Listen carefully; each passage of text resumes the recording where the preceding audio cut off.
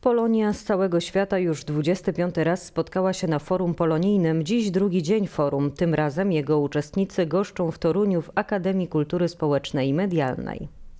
Forum jest znakomitym narzędziem. Kiedyś spotykaliśmy się tu, ja 25 razy nie byłem, ale no kilkanaście już, już y, że, byłem, choć tu są na naszej auli weterani, których, których posądzam o to, że mogli być na wszystkich. Oczywiście od 7 lat y, nie przyjeżdżamy tu już jako wspierający posłowie opozycji, tylko współtworzymy kierunek, jaki realizuje nasze państwo. Wcześniej wspólnie z państwem interesowaliśmy się, wymienialiśmy się doświadczeniami, obserwacjami, co można by było zrobić. Teraz e, przychodzimy tutaj do Państwa, spotykamy się z Państwem na zasadzie e, tego partnerstwa, tej współpracy. Mm, My, jako administracja rządowa, mówimy, co mm, mamy do zaproponowania, jakie rozwiązania chcemy wprowadzić w życie.